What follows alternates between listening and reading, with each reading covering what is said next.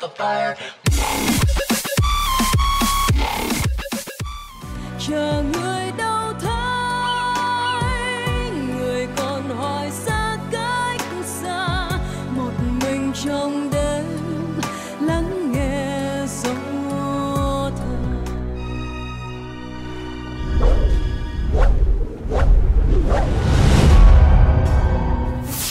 Đã đến lúc các mỹ nhân sẽ bùng nổ màn ảnh Việt Nam trong một bộ phim bơm tấn của đạo diễn Nguyễn Quang Dũng. Bộ phim này với sự kết hợp của rất là nhiều người đẹp, Thanh Hằng, Tăng Thanh Hà, Ngọc Quyên, Diễm My 9X và trong đó còn có rất nhiều những nam diễn viên khác nổi tiếng nữa.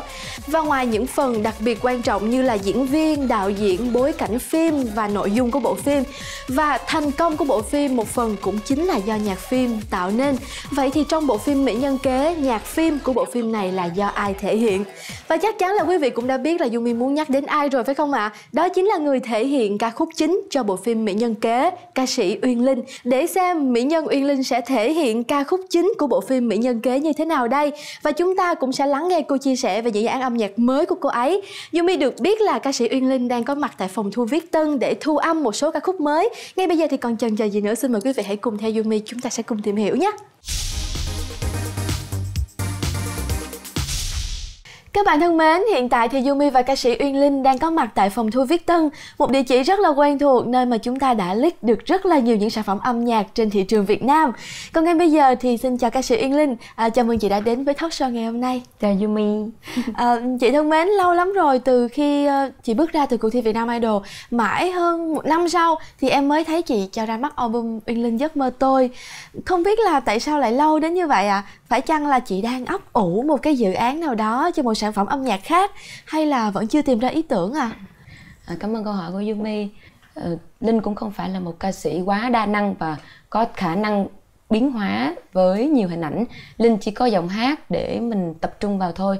Thực ra thì Linh cũng như ekip cũng có thu âm những cái ca khúc Nhưng mà để mà lựa chọn chắc lọc những cái tinh nhất để mình cho ra một cái album. Như Linh đã nói chỉ có giọng hát thôi thì mình phải cần thời gian và cần sự suy nghĩ và đấu tranh cũng khá nhiều Dạ. Vậy thì bây giờ thường khi mà đi diễn á, thì chị sẽ biểu diễn những ca khúc nào và chị thấy cái sự phản hồi của khán giả với những ca khúc đó như thế nào ạ? À? những cái chương trình mà theo kịch bản thì không không không phải bàn tới ha ừ. còn những cái chương trình mà linh tự lựa chọn ca khúc thì uh, cái album đầu tay của linh giấc mơ tôi với những bài như là người hát tình ca ca khúc mượn uh, và ca khúc uh, Take Me to the River với à. phiên bản mới mà nhạc sĩ Quốc Trung làm lại cho Linh đó ừ. là ba ca khúc được yêu cầu nhiều nhất. Bên cạnh đó qua 2 năm rồi à, linh cũng thấy khá là bất ngờ khi mà rất nhiều chương trình hội nghị khách hàng yêu cầu à, cảm ơn tình yêu. Linh nghĩ đó cũng là một cái một cái điều hay một cái may mắn cho mình. Cái ca khúc nào mà được um, mọi người đón nhận nhiều nhất thì uh, theo cảm nhận của linh thì có lẽ là người hát tình ca. Ừ. Tuy nhiên thì trong khoảng thời gian vừa qua khi mà đã, chị đã trình bày những ca khúc đó thì có sự phản hồi nào từ khán giả họ nói rằng à, tại sao đến bây giờ vẫn chưa có bài mới có nghĩa là cái vốn ca khúc ít ỏi đó họ có phàn nàn không? Thực ra thì cũng có tại vì uh, những cái mong mỏi của khán giả đó những mong mỏi của những người yêu mến đó nó sẽ là cái động lực để mình cố gắng thêm thế nhưng mình cũng đừng quá nôn nóng bởi vì trường hợp của linh là một ca sĩ bước ra từ một cuộc thi và trước đó chưa từng có thời gian hoạt động về ca hát về nghệ thuật cho nên mình cần rất nhiều cái thời gian để mình hoàn thiện cái căn bản cái nền móng của mình đã đương nhiên là linh cũng sẽ xem lại trong thời gian tới sẽ phải thực sự là hết sức mình để tìm thêm những ca khúc mới vì một năm được hai năm được nhưng không quá lâu được linh cũng thấy có lỗi và thấy tiếc với cái tuổi trẻ của yeah. mình dạ. nếu mà để cho nó đi qua như vậy và cũng thấy buồn một chút khi mà khán giả đang chờ đợi mình từng ngày mà mình thì không biết phải làm sao bây giờ.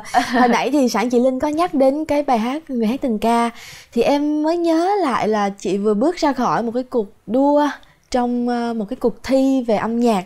Ví dụ như là bài hát yêu thích thì ờ, trong cái cuộc thi này chị lại là người chạy đua trực tiếp với văn mai hương để giành vị trí quán quân thì ờ, không biết là với những cái cuộc ờ, đua mà nó có một cái sự trùng hợp như vậy liên tục xảy ra chị nghĩ như thế nào về đối thủ cũng như là những bài hát của họ? À, nếu mà nói về chạy đua với văn mai hương á thì linh xin đính chính lại là có lẽ là những người yêu mến uyên linh và những người yêu mến văn mai hương. Chạy đua cùng nhau. Vì đó là cuộc chơi của giám uh, của khán giả. Còn linh và văn mai hương chỉ là những nghệ sĩ thể hiện những ca khúc đó không tính đến việt nam idol còn tính đến những cuộc thi khác nếu như có uyên linh và có văn mai hương thì đó đơn giản chỉ là sự sắp xếp của ban tổ chức để cho nó có thêm phần kịch tính mà thôi và linh nghĩ là linh và em hương sẽ còn song song với nhau trong rất nhiều công việc nữa và linh cũng rất là vui khi mà một ca khúc của hương một ca khúc của linh uh, thay nhau uh, dẫn nhất tháng yeah. Dạ. thì rõ ràng có có thể cho thấy được là cái gu nghe nhạc của khán giả rất rộng rất dàn trải cái điều đó càng làm cho mình yên tâm hơn vì mỗi người có một phân khúc thị trường riêng của mình. Ừ. không có lo về cái chuyện đó. Nếu như mỗi người làm tốt cái vai trò của mình hình ảnh trẻ đẹp hoặc là hình ảnh đầm, đầm thắm dịu dàng đó tự, uh, tự tin thì mình vẫn luôn luôn có những người ủng hộ cho cái phong cách của mình. Còn đối với linh thì quan trọng nhất càng ngày càng được nhiều người đón nhận ca khúc của mình. Còn đứng nhất trong một cuộc thi thì đương nhiên là vui rồi bởi vì giải thưởng với ca sĩ luôn luôn là động lực. Nhưng không phải là tất cả không phải một mình chị Yên Linh mà em thấy rằng là tất cả các ca sĩ hiện nay đều than vãn vào cái việc là khó tìm được ca khúc cho mình để phù hợp để thành hit. Nhưng mà em thấy là bên cạnh chị còn có một người producer rất là tài năng. À, mọi người lúc nào cũng hâm mộ anh Quốc Trung cả. Vậy thì tại sao em không biết là anh Quốc Trung không có sáng tác cho chị hát à? Uhm, thực ra thì cũng khó đó. Nếu mà để nói về cái chuyện à, cảm hứng sáng tác thì đúng là chúng ta phải kiên nhẫn chờ đợi thôi. Không chỉ riêng nhạc sĩ quốc trung mà những nhạc sĩ khác kể cả là ekip của linh có nhờ họ viết bài thì cũng ừ. phải kiên nhẫn chờ đợi họ. Cho nên quay lại với trường hợp của nhạc sĩ quốc trung thì anh cũng đã dành tặng linh ca khúc giấc mơ tôi là ca khúc chủ đề của album đầu tay đó. Thì một ca khúc đó thôi linh đã cảm ơn lắm rồi. Và nếu như có thêm ca khúc thì linh quá vui còn nếu như không có linh vẫn sẵn sàng chờ đợi. Nhưng mà để nói về cái vai trò sản xuất âm nhạc à, của nhạc sĩ quốc trung dành cho linh thì linh nghĩ có những cái nó sẽ lớn hơn ừ. có những cái nó bao quát hơn là sáng tác một ca khúc. sáng tác một hoặc hai ca khúc. Đó sẽ là cái con đường sẽ là cái hình ảnh trong âm nhạc mà nhạc sĩ quốc trung uh, đề xuất ra với linh. Sau khi mà bàn bạc với nhau thì những cái định hướng mà nhà sản xuất âm nhạc đưa ra đó ừ. mới là quan trọng. Và cuối cùng thì con đường dài nhất mới là cái chuyện quan trọng nhất có thể mình sẽ rất là mình sẽ gây vũ bão trong thị trường âm nhạc trong một thời gian. Nhưng liệu rằng sau này khi mà người yêu nhạc nghĩ về mình họ sẽ nói rằng trời ơi lúc đó nó nổi tiếng lắm. Hay họ sẽ nói rằng ca khúc lúc đó thực sự là một điều gì đó gì đó gì đó. Ừ. thì linh hy vọng rằng cái tên của ca sĩ nó sẽ gắn với ca khúc cũng như là sẽ để lại trong những khán giả những cái kỷ niệm linh mong cái điều đó hơn và cái con đường với cái hình ảnh đó đó mà nhạc sĩ quốc trung vạch ra cho linh. Linh nghĩ rằng là ít gì thì cũng phải năm bảy năm nên phải hoàn thiện được cái bước đó cho mình đã. Khi mà chị gặp gỡ những người nhạc sĩ đó không biết là chị có phải tâm sự với người ta rồi hay là mình phải ờ, nói chuyện với người ta một vài buổi để người ta có thể hiểu mình hơn và người ta viết cho mình một ca khúc hay không ạ? À? chính xác. Có lẽ là chúng ta cũng nên như vậy. Trong bất kỳ một công việc gì linh thì linh không có nhiều mối quan hệ. Tại vì trước đó linh chưa từng đi hát. Sau này thì mình bắt đầu cởi mở hơn dám đi chơi đi ra ngoài và ngồi nói chuyện với mọi người. Thực ra nhiều khi mình cũng không cần nói gì uh, họ quan sát và mình quan sát họ. Thì đó cũng là có một cái sự uh, hiểu ngầm một cái sự nhận biết gì đó về mỗi người để sáng tác cho nhau và để hát ca khúc của nhau hay. Linh nghĩ đó cũng là một cái duyên nữa. Ừ. Ừ còn ca khúc ở trong bộ phim mỹ nhân kế thì sao ạ? Cái duyên nào đã đưa đẩy cho chị để hát ca khúc ở trong phim đó cái duyên này cũ ơi cũ luôn á. Duyên này cũ lắm.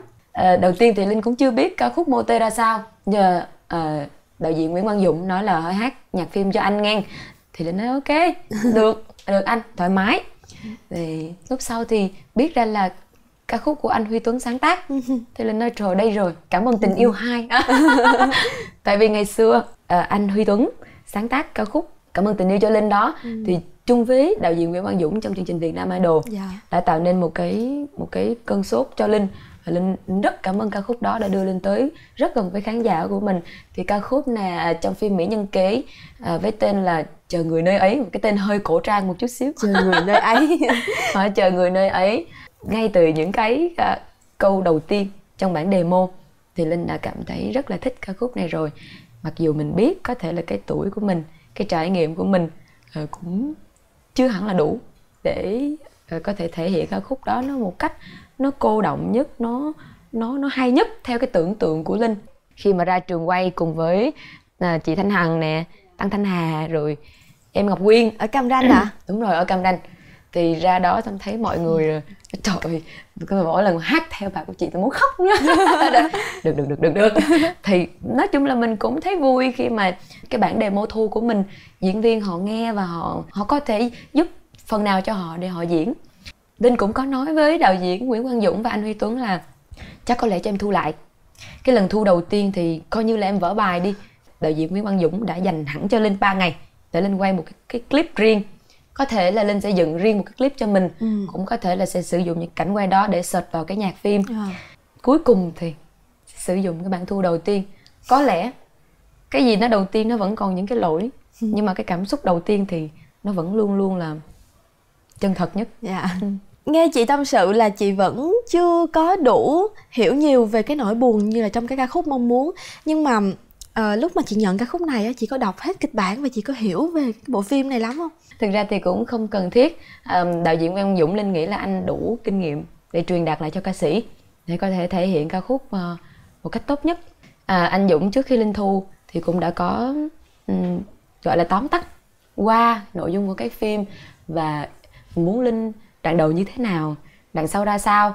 Và Linh cũng rất là bất ngờ khi mà Linh vừa Linh thu xong chỉ gửi bản demo thôi anh Dũng cũng đã nói là em hát vậy anh cũng khá là hài lòng. À, nếu như à, cái này để làm demo cho diễn viên họ quay mà nếu như mà nếu được thì em cũng à, nên xem xét thu lại gì đó. Không phải là ca sĩ muốn hát sao thì hát miễn cho nó xong. Không anh rất là anh Dũng sẽ phải um, tính đến nhiều thứ. Vì nếu như biết đâu um, ca khúc nhạc phim nó không đủ ấn tượng dạ, thì nó rồi. cũng khá là ảnh hưởng.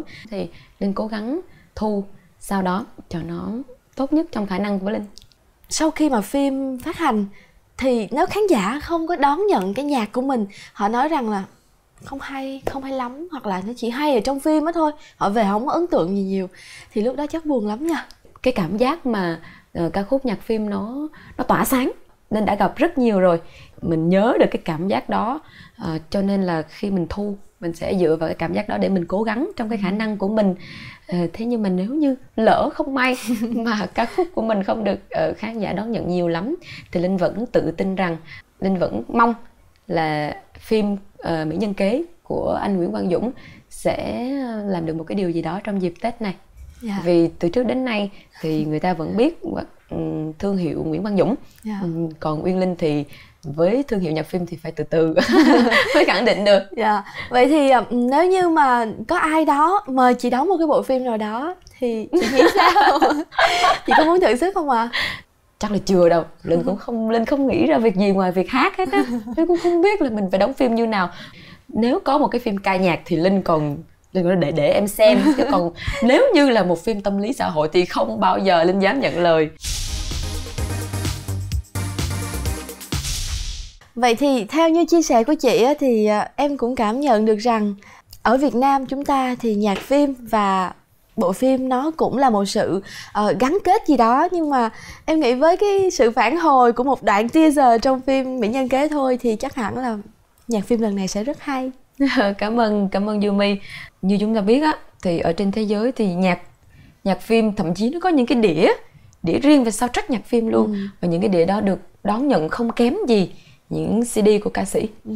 nhưng mà ở Việt Nam thì từ trước đến nay Linh thấy chỉ cần một đến hai ca khúc trong phim thật thật là ấn tượng thôi là đã cùng nhau tôn nhau lên rất là nhiều rồi thì Linh hy vọng cũng hy vọng là lần này ca khúc chờ người nơi ấy sẽ góp một phần gì đó vào bộ phim của anh Nguyễn Văn Dũng.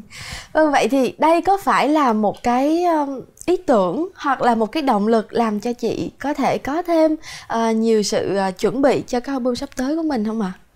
Cũng có thể nói là như vậy thực ra cái việc mà có đưa ca khúc chờ người nơi ấy trong phim mỹ nhân kế vào album tiếp theo hay không thì cái việc đó linh còn phải suy nghĩ ừ. và linh còn phải xin phép um, đạo diễn phim uh, nhưng đó là một ca khúc ballad và khi mà linh được những uh, được nhiều người tạm gọi là khen ngợi về khả ừ. năng hát ca khúc trữ tình cũng như ballad của mình thì linh có linh nghĩ có lẽ mình nên suy nghĩ trong rất nhiều dòng nhạc chúng ta uh, đang nghe thì nhạc trữ tình luôn luôn có một cái chỗ đứng rất là quan trọng rất là lớn. Linh nghĩ rằng là sớm muộn gì cùng với cái tuổi của mình cùng với cái trải nghiệm theo thời gian của mình thì linh sẽ có một có cho mình một cái album ballad thật là chất lượng. Vậy thì album sắp tới sẽ là album đó hay là một album nào khác trong tương lai nữa ạ? À? nhạc sĩ quốc trung thì muốn linh theo đuổi một cái hình ảnh lớn dần theo thời gian ừ. mạnh mẽ bùng nổ nhưng theo thời gian mình vẫn mạnh mẽ nhưng cái đó nó ngầm và nó âm vào bên trong. Linh cũng rất là thích cái điều đó. À, bên cạnh đó mình vẫn có những cái góc khuất rất là mềm yếu hoặc là mình rất là nó hợp với chữ tình. đó thì mình vẫn sẽ thu âm và mình sẽ xem cái thời điểm thời điểm nào nó thích hợp để mình có thể uh, cho ra mạnh mẽ hoặc là trữ tình. Thì linh nghĩ rằng là cái thời gian này đối với linh á cái hình ảnh nó sẽ khá là quan trọng. Còn mình hát cái gì là mình để hỗ trợ cho cái hình ảnh đó của mình. Dạ vậy thì cụ thể hơn là chị sẽ cho ra mắt cái gì trong thời gian tới à? Nếu như là để cho linh tự tung tự tác hoàn toàn được tự lựa chọn và nhạc sĩ quốc trung chiều linh hết mức thì linh sẽ xin phép. Nghiêng về ballad trước album này chị nghĩ rằng nó nó nó sẽ gồm những ca khúc ballad với một cái bức chân dung như thế nào ạ? À? nó sẽ nó không phải quá bùng nổ đâu. Ừ. nó sẽ để lại trong lòng người nghe những cái dư vị gì đó và nó phải kiểm chứng qua năm tháng. Ừ. thì khi mà linh đã hoàn tất một cái album nhạc trữ tình linh sẽ để nó trong một góc và để cho nó có một cái thời gian để kiểm chứng cái đời sống của mình. Những ca khúc nhạc nhanh những ca khúc sôi động sẽ rất dễ bắt lỗ tai và nó phù hợp cho nhiều không khí ừ. mà chúng ta xuất hiện. Đường còn dài và còn rất nhiều thứ phải làm. Tất cả mọi thứ linh đều phải trải qua từ nhạc chậm đến nhạc nhanh từ trữ tình đến sôi động. Và linh mong mong rằng khán giả của linh sẽ nhìn thấy được cái khả năng lớn lên của một uyên linh. Chứ không khi nghĩ về không mãi mãi là một người hát cảm ơn tình yêu không mãi mãi là một người hát những ca khúc nó trẻ con. Mình không lớn được trong khi khán giả của mình sẽ luôn luôn lớn và vận động không ngừng. Ừ. Trong album này sẽ có những ca khúc uh, của những nhạc sĩ nào ạ? à? Um, nếu mà để nói về ballad thì linh nghĩ rằng uh, nhạc sĩ quốc trung nhạc sĩ lưu thiên hương ừ. vốn là rất là hai chị em đã rất là hợp rơ với nhau bên cạnh đó nhạc sĩ hoài anh cũng là một người mà linh rất là yêu mến linh cũng có hỏi thêm nhạc sĩ đức trí ừ. uh, võ tiện thanh nghệ sĩ kèn hồng kiên yeah. Dạ. à. trong cái album lần này thì ngoài những uh, nhạc sĩ đó ra thì chị có bao giờ ấp ủ là mình sẽ tự viết một ca khúc nào đó dành cho mình không với khả năng hạn chế của mình linh nghĩ linh sẽ cần rất nhiều sự hỗ trợ và linh sẽ phụ thuộc rất nhiều vào các nhạc sĩ um, ca sĩ á, họ hát quá nhiều lần một ca khúc thì họ hay bị bị ám ảnh vậy thì với ca khúc cảm ơn tình yêu á, thì chị có bị cảm giác đó không đương nhiên là phải bị cảm giác ám ảnh rồi nhưng khán giả thì họ vẫn vẫn muốn Thích. mong muốn tôi tôi như thế vẫn muốn nghe tôi hát. Người này nghe không có nghĩa là người khác đã nghe rồi. Mình kể cả mình hát trên truyền hình rất nhiều người đã nghe nhưng vẫn có những người chưa nghe. Ừ. vậy thì tại sao mình lại tự thu hẹp mình nếu như họ vẫn yêu cầu? Nhà tổ chức họ vẫn yêu cầu mình hát ca khúc đó. Một ca khúc nào đó có nghĩa là cũng đã có những sự phản hồi đến ban tổ chức. Tôi muốn nghe cô Uyên Linh trong chương trình này hát bài đó. Thì linh vui vẻ. Và linh càng thấy vui khi mà ca khúc của mình nó có một cái đời sống lâu dài thôi. Trong khoảng thời gian chờ đợi cái album sắp tới của chị có được một cái sườn cố định như là chị mong muốn. Thì uh, chị chỉ mới có một ca khúc thôi. Đó chính là ca khúc chờ người nơi ấy trong bộ phim mỹ nhân kế. Trong ca khúc này thì em em nhớ là như là chị có đi ra ngoài cam ranh quay mv nữa. Ừ. trong mấy ngày đó thì trong mv này chị lại hóa thân thành một nhân vật ở trong phim. Không biết là chị có suy nghĩ gì về nhân vật này ạ? à? Thì lúc mà linh mặc cái bộ đồ đó ra và trang điểm lên mọi người nói ê có vẻ giống như cái người ngờ, giống cái nhân vật mà thanh hằng yêu đó mà bỏ đi rồi làm cho thanh hằng buồn bã rồi trở thành sát thủ đó. Thì mặc một bộ đồ rồi đội cái vấn lên đầu đó. Ừ. rồi mình hát bên những cái khung cảnh rất là rất là cổ trang. Tức là họ đã phải rất là cố gắng. Khi mà ba ngày linh ra và họ đã phải cắt làm đôi một lực lượng thì ở trên núi quay những cảnh đánh võ của mấy chị. Một nửa còn lại thì xuống biển cùng linh để uh, quay những cái cảnh dưới biển cũng như trong những cái hốc đá. Ừ. uh, linh có khoảng 5 đến 7 phân cảnh. Họ sẽ sử dụng hết tất cả những gì họ có. Khi họ cần là họ có luôn những cái cảnh của à. ca sĩ để họ trám vào. Về vấn đề mà dựng lên cho nên một cái mv riêng thì linh và đạo diễn nguyễn văn dũng cũng đang làm việc với nhau để sao cho nó hiệu quả nhất à, nhưng mà linh thực sự là linh rất là tin tưởng vào cái cái quyết định của anh Dũng cũng như là đạo diễn Nguyễn Tranh. Bởi vì theo Linh được biết thì cũng khá là lâu rồi và anh Nguyễn Tranh mới làm lại. Linh nghĩ đó là cũng là một cái điều may mắn cho Linh. Đầu tiên là cảm ơn. Ừ. ekip làm phim đã cho mình một cái trải nghiệm mới một cái kinh nghiệm mới.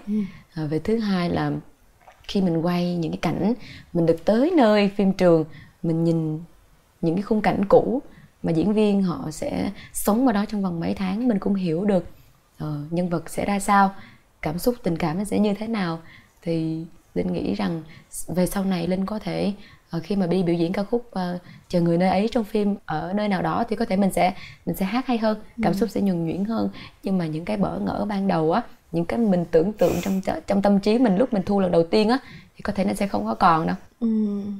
vậy thì trong thời gian chờ đợi cái MV này hoàn thành ừ, Yên Linh có thể gửi tặng cho tất cả các bạn khán giả của Lick Plus ca khúc này được không? Rất là sẵn lòng. Ngồi lại nhấp chén say Lắng trong lòng mình những đắng cay.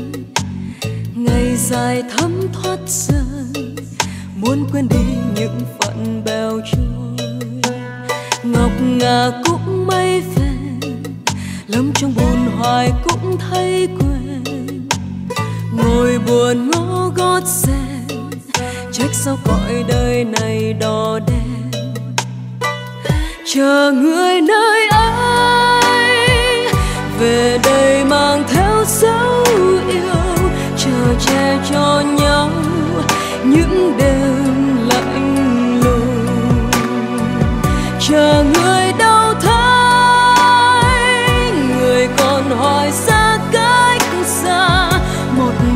trong đêm lắng nghe gió thở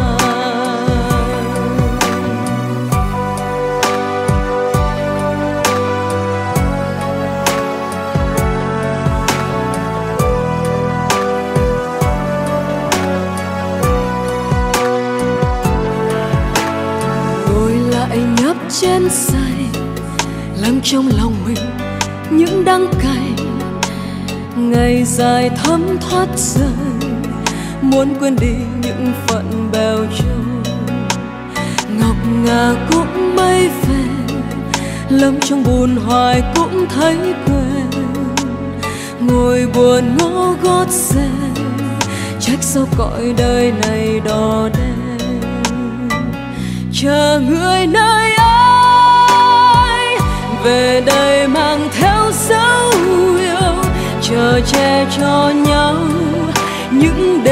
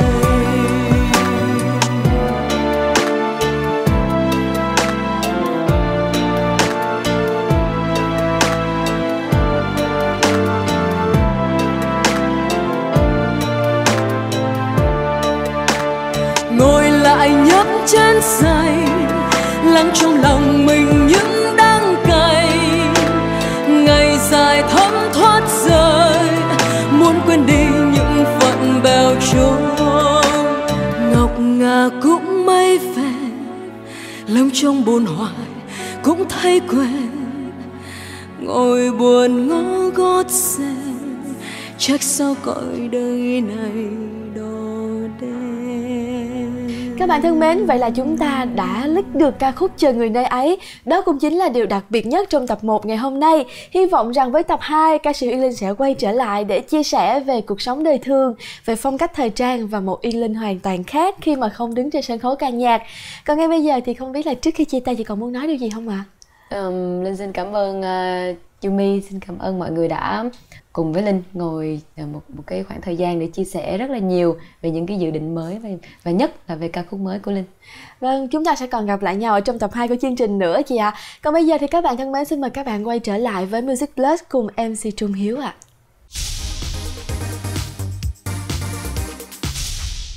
Vọng vui